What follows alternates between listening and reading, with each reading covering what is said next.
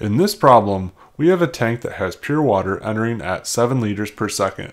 The tank has an initial concentration of 150 kilograms of salt in the 1000 liters of water in the tank.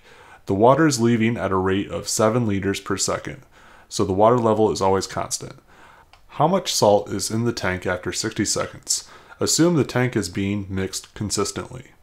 So we need to lay out the differential equation for this problem.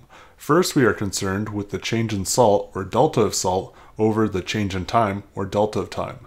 This is denoted as ds over dt.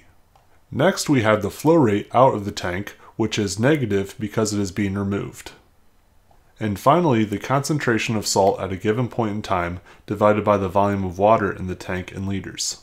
So now to solve the differential equation, we must use algebra to separate the s variables to one side and the time and constants to the other.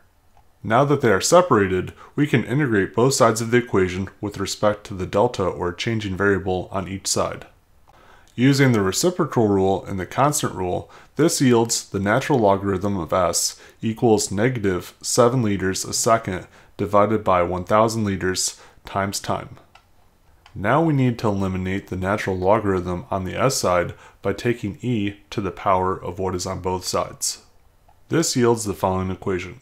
S, or salt mass in kilograms, equals the C, or constant, which in this case is the initial mass of salt, times the Euler constant, or E, to the power of negative 7 liters per second divided by 1000 liters times T, or time.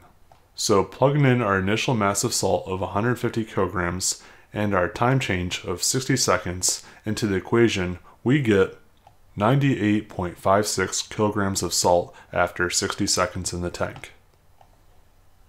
Poll update, this marks one more for calculus. That concludes this video. Hope you have earned a like, share, or subscription. If you enjoyed this video, you may enjoy one of these videos as well. Let me know how I'm doing in the comments down below. Thank you for watching.